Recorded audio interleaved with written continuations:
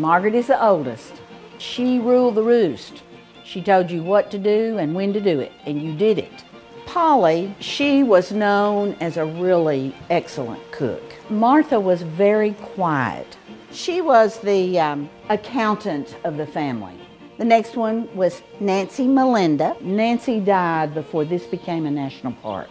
The next one was Louisa Susan. She loved to laugh and she loved funny things. Louisa was the one that wrote all the poetry. Then Sarah Caroline. Caroline is the only sister that married, so she did not live in the house. And the last one was Hetty Rebecca. Hetty was knitting and doing needlework, perfected in it.